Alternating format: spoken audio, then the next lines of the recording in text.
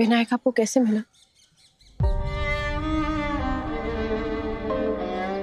किसी ने मुझसे एक विनायक छीन लिया।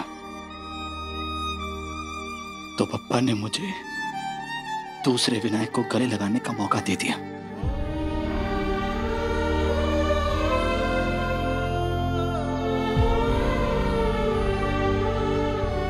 सही हमारा अतीत बदलना हमारे हाथ में नहीं है, लेकिन इन बच्चों का भविष्य सुधारना तुम्हारे हाथ में ज़रूर है। किसी बात को या किसी की बात को इन बच्चों के सुनहरे भविष्य के बीच में मत आने दो। बस इतना सही कहूँगा, अगर तुम यहाँ रुकती हो तो सबके लिए अच्छा रहेगा खास तौर पर इस अनाथ आश्रम के बच्चों के लिए। बाकी तुम्हारी मर्ज़ी, कोई दबाव नहीं डालूँगा। एक और बात। वीनू के अडॉप्शन वाली बात उस तक नहीं पहुंचनी चाहिए। उम्मीद करता हूँ कि उसका ध्यान रखोगी तुम।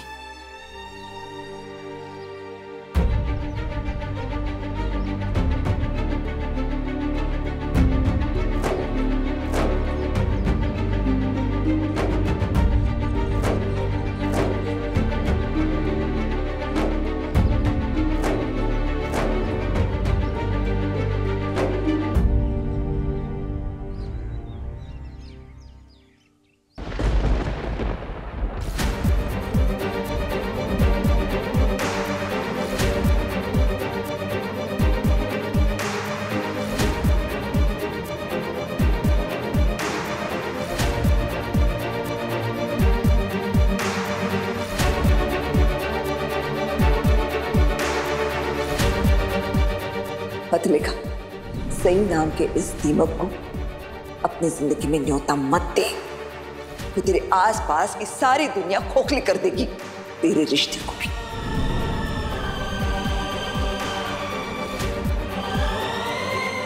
अब क्या कहती हो, पत्र लिखा? यही चाहती थी तू कि तेरा पति अपनी पहली पत्नी के साथ कंधे से कंधा मिलाकर चले। उसका साथ दे। और तेरी ज़िंदगी में उसे वापस ले आए।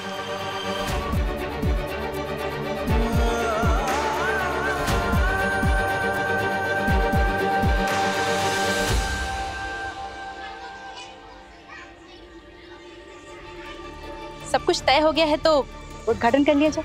बाकी की फॉर्मेलिटीज मैं डॉक्टर जोशी के साथ बाद में कर लूँगी। आइए डॉक्टर जोशी।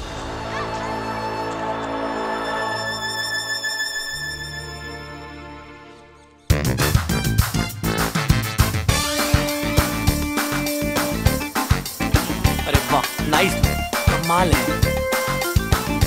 बहुत खूबसूरत ग्रेट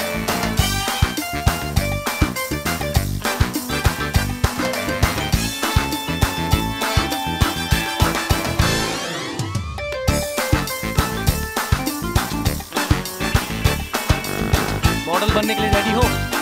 Honestly, I think मुझमें वो सब है जो एक मॉडल में होने की ज़रूरत है। फिर भी अगर ज़रूरत पड़ी तो मैं क्लासेस लेने के लिए भी रेडी हूँ को बेटर बनाने के लिए मैं कुछ भी कर सकती हूँ। तुम्हें किसी से क्लासेस लेने की कोई नीड नहीं है। मैं हूँ ना मैं हूँ ना अपने आप में चलती फिरती यूनिवर्सिटी मैंने इंडस्ट्री में एक से लड़की को टॉप पर पहुँचाया है। सबको बड़े बड़े काम दिलवाए हैं टॉप पर पहुँचाया है। और लास्ट ईयर मिस नागपुर को मैंने ही ट्रेन किया था। रियली स्मोक ही करती हो या असली चीज़ों का शौक भी रखती हो। चीज़ मतलब असली चीज़ यार है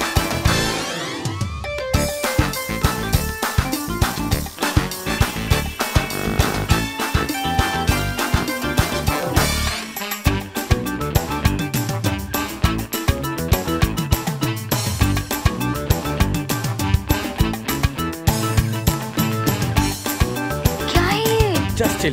Try please. Try once. For me,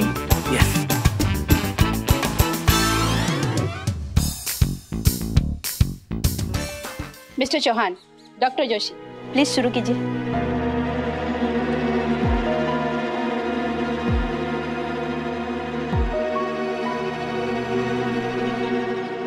Swati ji अच्छा होगा अगर विनायक के आई बाबा ये उद्घाटन करें। उन्होंने इस अनाथ आश्रम के लिए इतना कुछ किया है। उनका हक बनता है।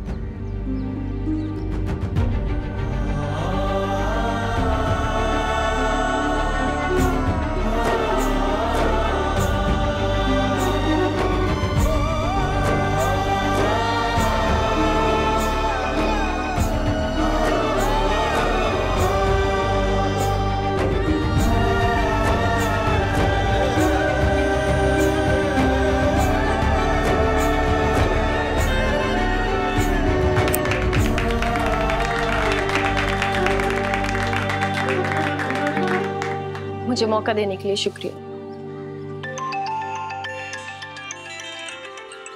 एक मिनट। जैन सर। जय हिंद विराट। हमें खबर मिली है कि क्लब में एक बहुत बड़ी ड्रग डील होने वाली है। मैंने टीम को वहाँ रेड के लिए भेज दिया है। तुम फ़ौरन वहाँ पहुंचो और उस टीम को लीड करो। मैंने तुम्हें क्लब की लोकेशन भेज दी है। एक मिनट सर।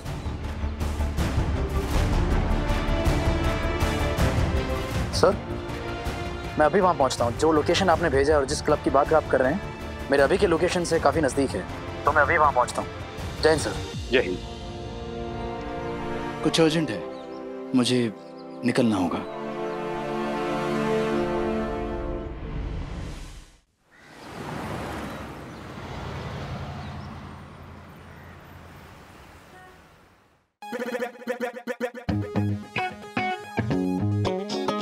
एक बार ट्राई तो करो। प्लीज़ ट्राई करो मेरे लिए। सीरियसली तुम्हें अच्छा लगेगा। एक बार ट्राई करो ना प्लीज़ ओके कम ऑन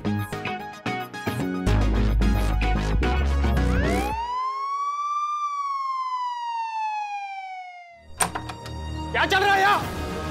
ए कहाँ भाग रहा है? तांबे? पूरा क्लब छान मारो।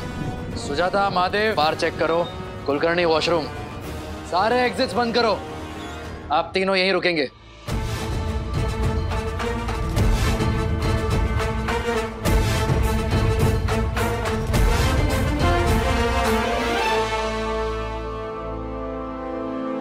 कोई भी अपनी जगह से नहीं हिलेगा। प्लीज़ कोऑपरेट किसी ने अगर भागने की कोशिश की तो आपके खिलाफ सख्त से सख्त कार्रवाई की जाएगी। अगर विराट मामा ने मुझे यहाँ देख लिया तो तो मैं बहुत बड़ी मुसीबत में पड़ जाऊँगी।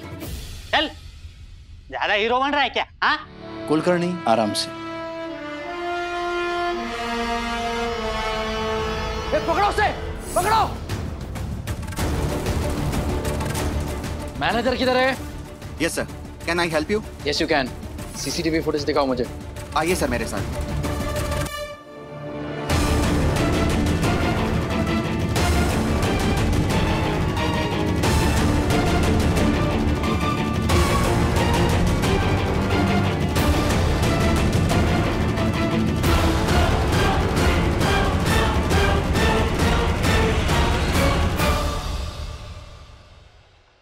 पॉज ये जो लड़की भागी इसकी शक्ल देखी थी? यस सर अगर ये मेरे सामने आएगी तो मैं इसे पहचान सकती हूँ। गुड पता करो ये लड़की कौन है। हो सकता है इन गैर कानूनी कामों में वो शामिल हो वरना ऐसे भागती नहीं वो कैसे भी करके इस लड़की को ढूंढ निकालो। इस केस के लिए वो बहुत ज़रूरी है। कोई लीड मिल सकती है। यस सर एक्सक्यूज मी आपको दिख नहीं रहा मैं बैठी हूँ ऑलरेडी ऑटो में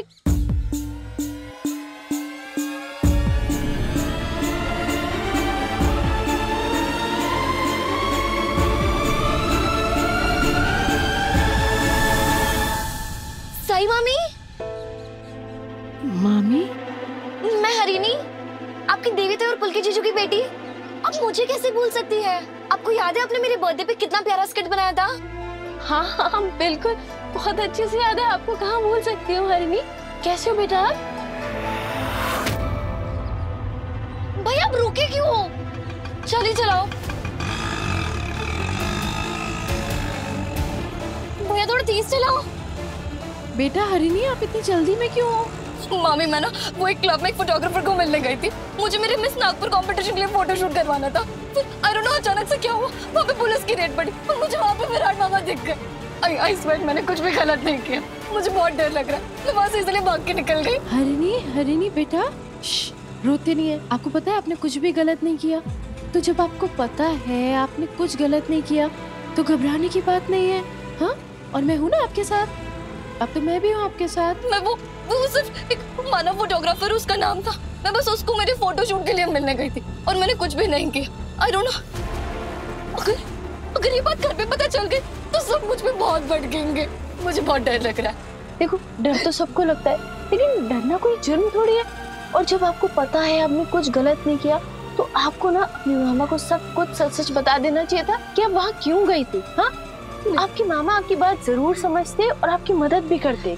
नहीं, मामी अब नहीं समझ रहे। वो उस घर में मुझे कोई भी नहीं समझता। सबको मुझे परेशान करने में बहुत मज़ा आता है। सब, सबके सब राक्षस है वहाँ पे। अरे हरिनी ऐसे नहीं बोलते। घर के बड़ों के बारे में तो बिल्कुल ऐसे नहीं बोलते। आपके परिवार वाले हैं ना? नहीं मामी अब नहीं समझ रहे। वो लोग ना बहुत रोक टोक करते रहते सब चीज़ों में। अरे नहीं देखो देखो जब घर के बड़े घर के छोटों के लिए भला चाहते हैं ना? तो बस कुछ चीज़ें करने से रोकते हैं। इसका मतलब ये तो नहीं कि वो बुरे हो गए हाँ? नहीं मामी अब नहीं समझ। रही वहाँ पे बस एक विराट मामा ही है जो मेरा अच्छा सोचते। और कोई भी नहीं अच्छा सोचता देखो बेटा एक बात तो मैं यकीन से कह सकती हूँ कि उस घर के सभी लोग आपका भला ही चाहते होंगे। सब आपका अच्छा चाहते होंगे। अच्छा ठीक है। देखो अभी आपको घर जाना चाहिए हाँ? नहीं मामी मुझे घर पे नहीं जाना। अगर विराट मामा को सच पता चल गया तो तो वो मुझे बिल्कुल भी नहीं छोड़ेंगे। हरिणी जब आपको पता है कि आपने कुछ भी गलत नहीं किया तो फिर ऐसे छुप छुप के थोड़ी भागोगे? हरिणी समझ ला भाऊ, सिविल लाइंस लीजिएगा प्लीज़। आ जाओ घबराओ मत। बहनी मैं पत्र लेखा को ना समझा समझा के थक चुकी लेकिन वो मान ही नहीं रही है। बस, उसी के नाम की माला जप रही है। आ गई लेके कणकवली से नागपुर। नागपुर से यहाँ हमारी ज़िंदगी में। अरे ठीक है ना, वो आई है विनायक के इलाज के लिए। आएगी, इलाज करेगी, विनायक को ठीक करेगी, चली जाएगी। लेकिन नहीं, विराट। वो बैठा है, उसने उसको दूसरे काम में बाँध के रखा हुआ है। मुझे ऐसा लगा था ये एक पत्र लेखा ही, ऐसी लड़की है, जो उसको बुला कर बेवकूफ़ी कर रही है, लेकिन नहीं। विराट ने भी वही किया। बेवकूफ़ कहीं का? पता नहीं इन दोनों पति पत्नी को हो क्या गया है। उन्हें समझ क्यों नहीं रहा है कि वो कितनी बड़ी गलती कर रहे हैं? उन्हें समझना चाहिए कि सही जैसे लोगों को उंगली पकड़ाओ तो झपट कर हाथ पकड़ लेती है। उनके सामने अगर सर झुकाओ तो वो सीधे सर पर बैठ जाते हैं। अश्विनी, तूने और मैंने दुनिया देखी है।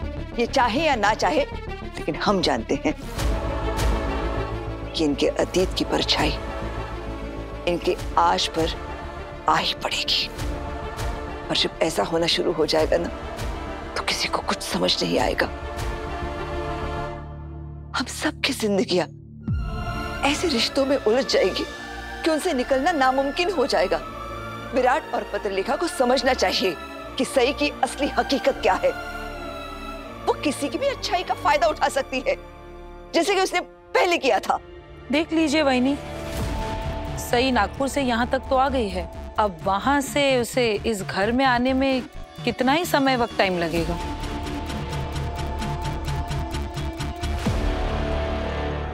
नहीं सोनाली मैं ऐसा कभी नहीं होने दूँगी। मैं उस लड़की को मेरे बेटे की ज़िंदगी बर्बाद नहीं करने दूँगी।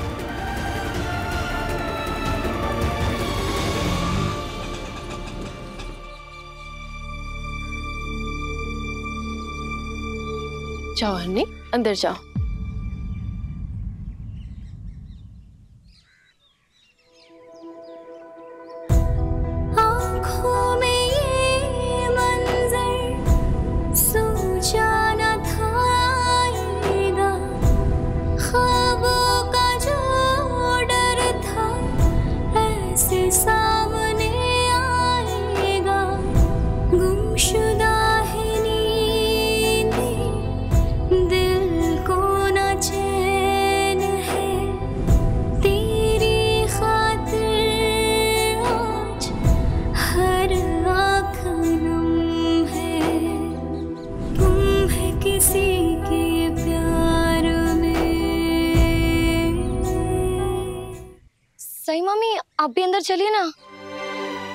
नहीं।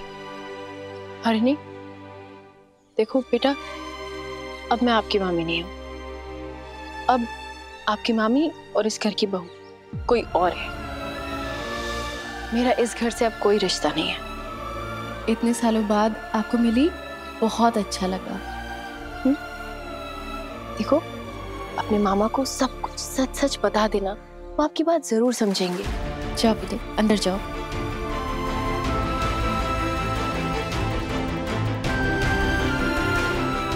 बाय हाँ शिंदे, वो लड़की जो क्लब से भागी थी, हर हाल में उसे पकड़ना है। और उसके मैनेजर और क्लब के मैनेजर को भी पुलिस स्टेशन लेकर आओ। जो भी प्रोग्रेस होगी, वो मुझे अपडेट करना। ओके? मैं बाद में कॉल करता हूँ।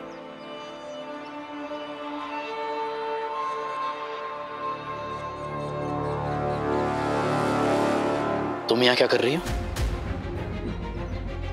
विनायक की कोई बात करनी थी? नहीं। वीनू ठीक है? हाँ विनायक ठीक है। मैं हरिणी को यहाँ छोड़ने आई थी। हरिणी एक मिनट। तुम हरिणी से कब मिली? अभी थोड़ी देर पहले रास्ते में और शाम होने वाली थी इसलिए मैंने सोचा उसे घर ड्रॉप कराती हूँ इसलिए आ गई।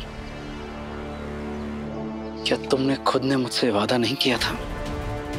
जब तक वीनू का इलाज चल रहा है, हमारे बीच सब कुछ प्रोफेशनल रहेगा। कोई भी पर्सनल बातें नहीं करेंगे हम। तुम सिर्फ़ विनायक की डॉक्टर हो, उसके अलावा और कुछ नहीं हो। तो फिर अब तुम मेरे परिवार के करीब क्यों आ रही हो? क्यों आई हो यहाँ पर? हमारे पर्सनल फैमिली मैटर्स में क्यों पढ़ रही हो? अब पर्सनल क्यों हो रही हो? मैं पर्सनल नहीं हो रही। और मैंने हरिणी को भी समझा दिया है कि वो भी मुझसे पर्सनल ना हो। हम आज इत्तेफाक से मिले थे, लेकिन मैंने हरिणी को समझा दिया है कि अब मैं उसकी मामी नहीं मेरा इस घर से कोई रिश्ता नहीं है। और वैसे आपको बुरा किस बात का लग रहा है? इस बात का कि मैं हरिणी को घर छोड़ने आई, या इस बात का कि मैं आपके घर की दहलीज के सामने खड़ी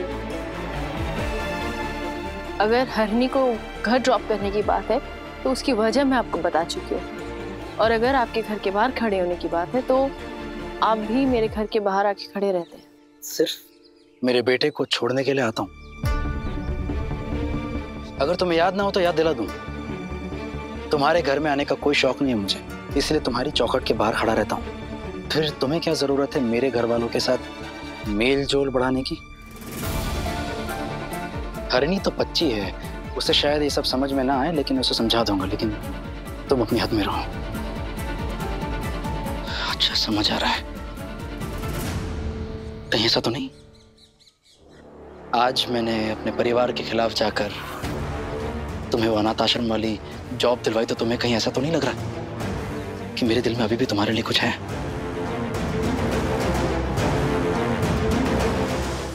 एक मिनट, मिस्टर चौहान आपको भूलने की बीमारी कब से हो गई? क्योंकि जहाँ तक मुझे याद है आप मेरे पीछे आए थे रिक्वेस्ट करने के लिए कि मैं वो जॉब कर लूँ। क्योंकि मैं तो वो जॉब करना ही नहीं चाहती थी। क्योंकि आपके परिवार का भाव देख के मैं समझ गई थी कि उन्हें मेरा वो जॉब करना बिल्कुल पसंद नहीं आएगा। और सच कहूँ तो वो जॉब मैं इसलिए भी नहीं करना चाहती थी? क्योंकि मैं आपके परिवार से दूर रहना चाहती हूँ।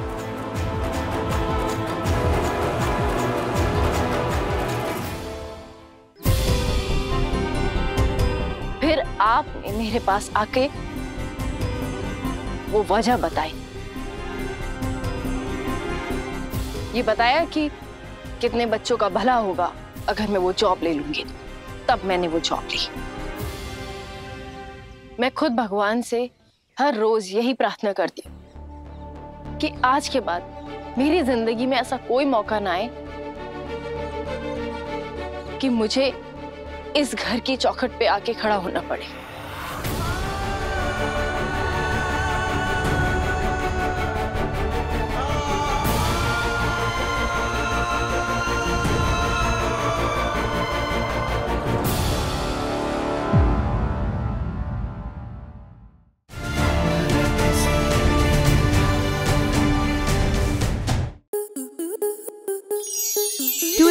More such amazing videos, subscribe to our YouTube channel.